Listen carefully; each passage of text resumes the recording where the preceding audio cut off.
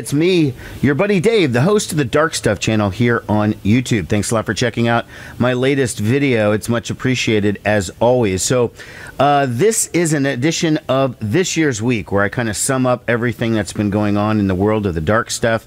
And we're going to be reviewing uh, Built to Spill, who I saw for the 22nd time last night. Quasi, featuring Janet Weiss, formerly of Sleater-Kinney, is the opening act uh, and they were amazing. I also saw Ringo Starr, formerly of the Beatles. You might have heard of them. A Giant Dog, fantastic show. We're going to be talking about that. I've also got a bit of replacements news from Tommy and from Chris. New Mommyheads, uh, brand new some vinyl pickups that I, I got recently, and uh, in addition to that, I'm going to talk about this Dave Grohl situation, and I think I have a different take on it than most.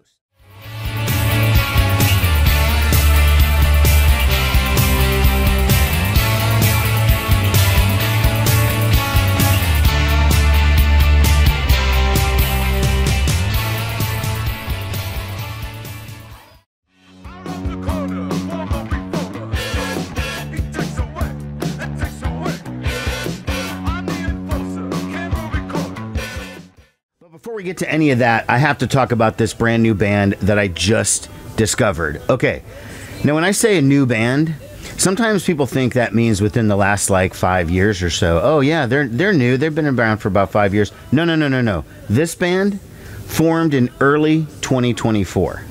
I'm talking about this band called Snowmen. Now, this is the first band that I have ever discovered on TikTok. Now, when I'm looking at my phone on TikTok, generally I'm looking at comedy or I'm kind of looking at girls dancing. Those are the, those are my two categories for TikTok. But in this case, it showed me a little 15 or 30 second clip of this band playing this insanely cool sounding Gang of Four ish kind of rock. And then the singer comes on to do the lyrics, and the singer looks like Bunny Carlos from Cheap Trick. I was like, I was I mean, my brain was going like crazy because I was like so intrigued by this band. Why does this band, they're young guys in their 20s, they're sounding like the late 70s from the UK, and then the singer looks like Bunny Carlos. That video popped up a couple of times for me, uh, different clips for it, and eventually I saved it and I started sending it to some of my friends. I was like, I think I discovered my first band on TikTok. Now, note for you guys, Snowmen, I don't know if that's positive for me. I mean, yeah, I am a DJ here in Omaha uh, on the radio, and I do this this uh, podcast, but I'm also 53, and the algorithm of TikTok, which is supposed to be so brilliant, showed it to me I don't know. Maybe your target audience is a bit younger than me, but regardless, it did show it to me, and now I'm like the number one fan. So I looked these guys up on YouTube, and they do have a YouTube channel with the song on it, as well as those same little clips like I saw on uh, TikTok. And it said you can buy the track on Bandcamp, and that's available on streaming. The song is called uh, You Can't Relate. And I must have sent the song either through Apple or Spotify to about 10 or 15 people. It was like, this band is so amazing. What do you think? What do you think? Who do you think they sound like? You know? And in my brain, I kept coming back to Pere Ubu for some reason. I was like, oh yeah, they're kind of like Pere Ubu. Everybody else said Gang of Four. And the guitar riff is very Gang of Four, so no question. I was at a music meetup thing last week, and I was showing some of the people the uh, the the TikTok clip, and I said, Look at this guy. He looks just like Bunny Carlos. And my friend Keith nicknamed him Sonny Carlos. So, whoever you are, Mr. Singer of Snowmen, your new name is Sonny Carlos. Anyways, I went to Bandcamp. I bought the track. It's only a dollar. It is their only song, literally, their only song. But it is killer. And if their first song ever is this good, like, I'm pretty psyched that whenever they come up with. Uh, uh, more stuff, it's going to equally be, be as good. And I am going to be playing them on my show next week.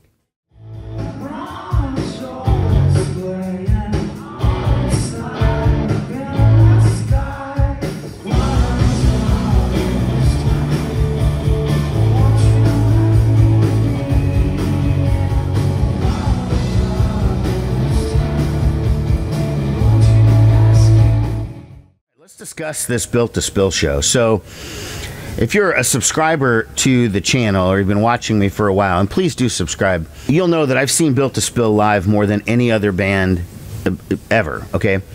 I estimated that last night's show that I saw was the 22nd time I have seen Built to Spill. I've seen them all over the country with all the different lineups and everything. When they had, were a three piece, a four piece, a five piece, back down to a four piece, then a three piece.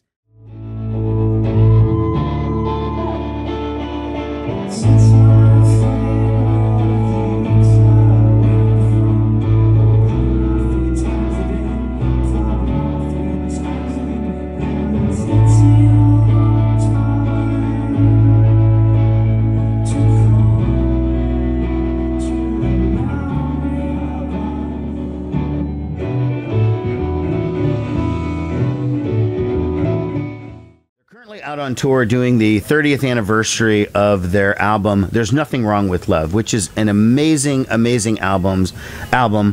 One of the best albums of the 90s definitely one of the best albums of 1994 and by the way will from vinyl potato and i are working on a best of 1994 video that will be coming soon. I can't speak for him but for me uh, this album there's nothing wrong with love will 100% be uh, on my top 10 so in my last video where I talked about Built to Spill, I did say that the last couple of shows that I've seen them at have been, you know, less than than stellar. Okay, they were good, they weren't great like they used to be.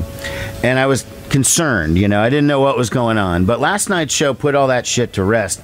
They were incredible. Okay? Now, it could be the source material. I mean, that album is fucking stellar. Every single song on it is great. Um, but I'm chalking it up to this band. This version of the band has now been playing together for like three years or whatever. They finally got the the vibe going, and it was built to spill back to being great. Now this album is amazing, but little point of personal privilege here. Okay, something that's always bothered me about this record. Two things, and one of them's been corrected. Number one, that is impossible to read. Okay, it is like gray or white writing on this tannish background and it's uh, it's impossible to read. Okay, that's number 1. They did fix that. There's a new 30th anniversary pressing on Sub Pop on vinyl that fixes this. You can read it clear as day. However, the other issue that I have is that they misspelled dystopian in dystopian dream girl and it just bothers me, okay? Like it's not a proper noun. Like if Doug Martsch wants to call him, spell his name Doug D U G or D O U G or D U G G or whatever the fuck he wants to spell it, that's okay. But dystopian is an actual word. And I thought maybe I was in the wrong, okay? And is there actually a way to spell dystopian? D I S T O P I A N? Well, I don't know. I try to type it into Google and it corrects me every single time. Dystopian is D Y S T O Y P A N. Now, I feel like that has to have been pointed out to them at some point, but on the 30th anniversary pressing, it's still spelled incorrectly. They couldn't have fixed that, honestly. They did play that song, by the way, and it was fucking sick. Okay, just just saying.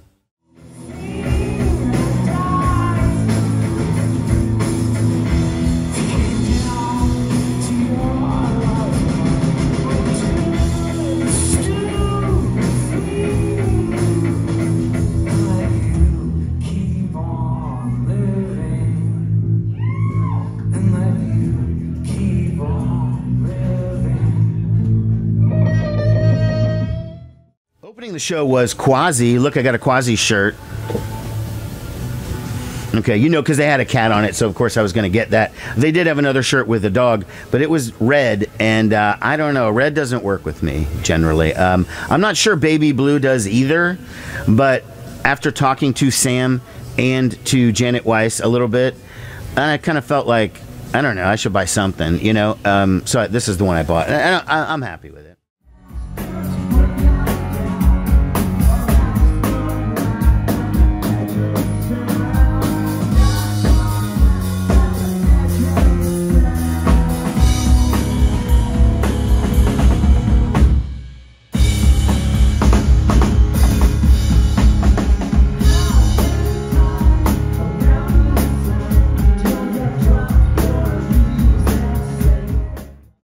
First time seeing Quasi. Uh, they were supposed to be in town about a year and a half ago with Jon Spencer, and someone in Jon Spencer's band got COVID, and they had to cancel the show. So I still have never seen her. I've seen her with uh, Sleater-Kinney, of course, and with Wild Flag, and probably with two or three other people, maybe with with Conor Oberst or Bright Eyes, because she does tour around with a lot of uh, different artists. All I know is the band was incredible last night. I mean, they were so fucking good, way better than I, I even expected. And I'm only familiar with their newest album, Breaking the Balls of History. Amazing album title, maybe the second best in in the history of rock music. Number one would be Motherfuckers Be Trippin' by the Supersuckers. Side note. So it was incredible seeing Janet Weiss that close. She's an amazing, amazing drummer. She played extremely well, sings along with Sam or whatever. It was it was just God, it was good.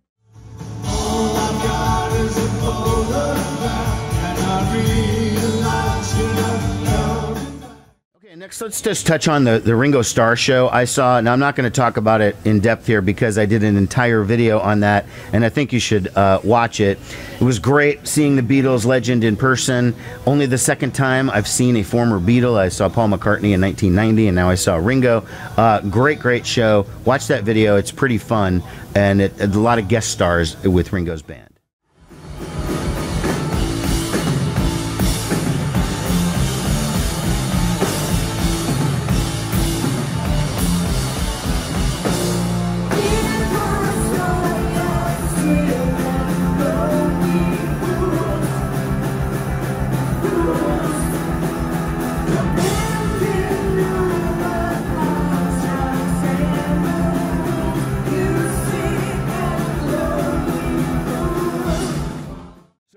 Let's talk about uh, seeing a giant dog. Wow, these guys were fucking good. Okay, this is an indie rock band from Austin, Texas. They've been around a little while. Um, they record for Merge Records, or at least they did. I'm not sure, but I first got into them with this record here called Pile. This is from 2016. This is fucking a, a great, great record. Now, after that album, Pile, I, I then heard this one, which is called Toy. I didn't like it as much. This was maybe 2017 or 2018, except they do a great cover of Angst in My Pants by Sparks, and uh, that saves the record. Now, I'm going to revisit this because. I hadn't I probably haven't heard it in 5 years or something and so my memory was I didn't like it as much but I don't know. It's worth a revisit. Anyways, their show was lightning fast. I mean, I have this this picture this is kind of what it was like. It's just blur, just a blur. That singer Sabrina Ellis is just wailing all over the stage, running around, going crazy, and um, uh, she's very impressive as a as a stage, you know, as her, her stage presence or whatever. Great singer. And as I'm watching the show, you know, I didn't recognize most of the songs, so I couldn't really tell you what they were playing, but um, except for the one or two songs I recognized off Pile. And then they go, okay, well, we're going to do this cover song. And I'm like, oh, okay, here goes Angst in My Pants. I get all psyched for it.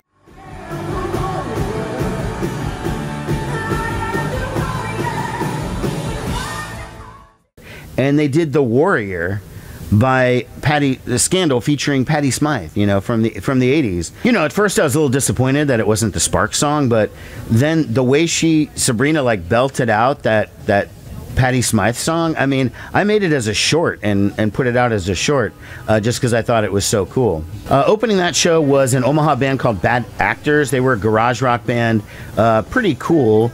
The singer guitar player looked familiar to me. I just don't know how I knew him. I mean, it's Omaha, so maybe I just bumped into him in a record store or something, but he looked very, very familiar. I, I don't know how I know you, dude, but I feel like I might. Ladies and gentlemen, the replacement. All right, next I got a little bit of replacements news, which is all positive, nothing negative, no deaths or anything, or no uh, uh, people adjacent to the replacements dying like the last set of news. But in this case, Chris Mars has a brand new book. It's called 742 PM and it's another uh, book of his art. Looks really, really cool. I'll put a link below to how you can buy it. It's from this place called Rare Bird Lit. Uh, looks like another great book from Chris Mars. And then Tommy Stinson is getting his old band Bash and Pop back together. Well, I don't know for sure who's going to be in Bash and Pop because, as you might know, when he first did Bash and Pop in 1993, that was one version of the band. By the time that tour ended, it was someone different. And then when they reformed in 2017, he had completely different guys. So he may do that again on this one. But he's reuniting for Little Steven's Underground Garage cruise. Uh, this is a cruise to the Bahamas. It takes place on uh, May 9th through the 13th of 2025. Uh, bands that are going to be appearing on this thing besides Bash and Pop, Social Distortion, X, Rocket from the Crypt, The Helicopters, L7, Reverend Horton Heat, Old 97s, The Baseball Project. I've done a video on them. Mark Lindsay, and then all these other people. I, will let, I'll keep that on the screen for a second so you can look at it. I'm not going to recite uh, every single one, but cool nevertheless. And then just got word that the Mommyheads are on the verge of releasing their next album. You know me, I cover them all the time. I've interviewed Adam Elk on the on the channel here. I review them their stuff every single time. All of their albums typically make my top 10 of the year when they come out. Although guys, they're pushing it a little bit because the new album doesn't come out till November 9th. It's going to be called One Eyed Band. It's the, the new album. I, I couldn't tell you what number album it is 14, 15, something like that. Kind of hard to say. But uh, it will be another new Mommyheads record November 9th. That doesn't give me a lot of time to absorb it before making my top 20 of the year. But you know, I'm feeling optimistic. I haven't not liked a Mommyheads record pretty much ever, so um, I'm feeling optimistic about this new one personally. Okay, and I do have a couple of uh, vinyl pickups to uh, to discuss with you. Now, first off, is the new Swervedriver. Okay, which I sounded like an idiot when I said the title of it when I talked about it earlier. It's Do Re Mi Fa Sol La Ti Do, which I was like, oh, Do Re Mi Fa Sol. It's like the notes. Do, re, mi, fa, sol, la, ti. Do. Okay, so that's the name of the album. Anyways, it is outtakes and demos from the album 99th Dream, which was the last album they made before they broke up, or the first when they broke up back in the 90s. Um, the tracks have been available apparently on the expanded edition of 99th Dream, which I didn't buy because I have the original on CD and vinyl, so I didn't feel like I needed it. But now I have it on vinyl. So brand new Swervedriver. I picked that up on their Bandcamp. I picked up the newest LL Cool J record, The Force. This thing is fantastic. In my uh, uh, recent video about four new possible contenders for Album of the Year, I discussed this album more in depth. My general comment that I would say to you right now is there is no reason that somebody like LL Cool J, who's been in the game for 40 years, should be making records that good. That was, that's all I'm going to say. Okay, then I grabbed the newest Jesus Lizard album, Rack. This is the band's first album since the late 90s. And um, Jesus Lizard was one of my favorite bands back in the 90s. I saw them probably five or six times back in the day. Uh, I lived in Madison, Wisconsin in the early 90s, and they were from Chicago, so I got to see them all the time. Um, a truly incredible band. They broke up at the end of the 90s, and they have gotten back together for shows in the in the past. But this is the first time they've gotten together for new music. I will admit I was skeptical, but I have to say this record is fucking great, and I'm to do an entire review on the on that record because it may be a contender for album of the year. It's also that good. Okay, and then the last thing I picked up was this Paul Stanley book called Backstage Pass.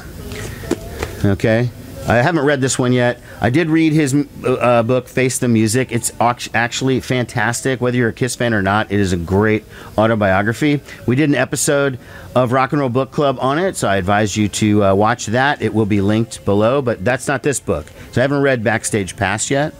Okay, and then I want to briefly, briefly address this Dave Grohl stuff that's been out in the news lately. So, long story short, he stepped out on his wife and he had a baby with another woman. Now, that's about the worst thing you can do as a married man, I suppose. My feeling is, why should I know this? I don't need to know this. This is only important to Dave Grohl's wife and his family. It's not important to anyone else, and I don't give a shit. Now, all this other stuff has come out that apparently this is maybe a pattern, that Dave's like a serial cheater or whatever. I, I, I don't know. I don't care. Um, I did think that him issuing a statement to the media or whatever that uh, you know letting everyone know what happened and how sorry he is and he's going to work with his family and all of this was the dumbest thing I've almost ever seen a rock star do. Who gives a shit? You're not running for governor. You're not. You don't have to make an announcement. You could have just let this one go. TMZ could have picked it up, maybe. Who knows? But the feeling that he had to get in front of it is so ridiculous. And the only reason I wanted to bring it up is because we did an episode a while back on Rock and Roll Book Club of Dave Grohl's book. And in it, you know, it was a decent book. He has a great life story. I mean, he's been in two of the mo most popular bands and most significant bands of the last 35 years. But so much of the book seemed to be skewed towards making Dave Grohl look like the nicest, greatest, coolest guy ever. Like Mr. Family Man, Mr. Rockstar, Mr. Uh, humanitarian, Mr. Whatever. Like everything was skewed to present himself in the best light. Now, it's his book. That's what he wants to do. But now that I've read 10 or 11 of these Rockstar memoirs as we've been doing the book club, I'm starting to see that it's a little bit more honest if you show some of your mistakes and, and fuck ups and things that you did. Now, all he did was mention in the book that he got one DUI in Australia, and even that was kind of minimized. So, I, I didn't think it was part of some cultivated image, but now I'm starting to wonder because that PR statement was literally the stupidest thing I've ever heard. So unnecessary. I don't need to know about Dave Grohl's personal life. I don't give a fuck. Last, I'll put up a couple of playlists from my radio show, New Day Rising. Of course, it's on every Sunday, 2 to 4 p.m. Central Time. And uh, you, if you're in Omaha, it's 89.7 FM. If you're anywhere else in the world, it's 897theriver.com. I would love you to uh, listen to it. I also do a monthly playlist here for the dark stuff Links to Spotify and Apple will be down below. And then this is the time normally where I would show some cat footage and tell you what's been going on with the girls, Nico and Blackie. But I have to tell you, I, I might have to have a talk with them. They're on the verge of getting cut from this segment altogether because they provide me with no entertainment. I almost got them. Like, what about all these people who have all this great pet content on the internet and they get millions of views? I can't even get my these girls to chase each other. Like it's they, they're just boring. All they do is sleep and eat, and that's it. And I'm not sure it's entertaining enough to keep on the channel. I, we're gonna we're gonna have a talk. All right, everybody. Thanks a lot for watching. Take care. Bye bye. So, uh, you have a MySpace page or something?